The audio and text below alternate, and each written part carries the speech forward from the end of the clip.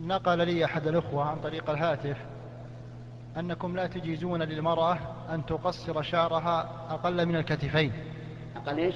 أقل من الكتفين أي نعم نعم وقد سمعت حفظك الله يا شيخ في نور على الدرب في فتوى لكم أنكم جوزتم ذلك واستدللتم بدليلين نعم. الأول ما ورد عن أزواج النبي صلى الله عليه وسلم في حديث في صحيح مسلم أنهن بعد وفاة النبي قصرن شعورنا حتى كن كالوفرة. نعم.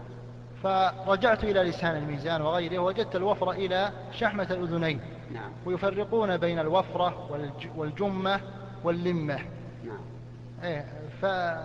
فما الفرق بين هذه وهذه؟ نعم. الفرق أنه لكل حادث حديث. الرجال الآن بدأوا يقصون بدأ كثير منهم يقص رأسه إلى حد الكتف أو أو أعلى قليلا. فحينئذ تكون المرأة وقعت فيما يباح لها وقعت في التشبه بالرجال. والتشبه بالرجال ممنوع. أفهمت؟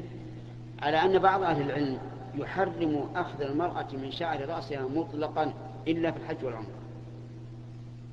ويجيب عن فعل أمهات المؤمنين رضي الله عنهن بأنهن فعلن ذلك إظهارا لكونهن لا يصلحن للزواج بعد النبي صلى الله عليه وسلم.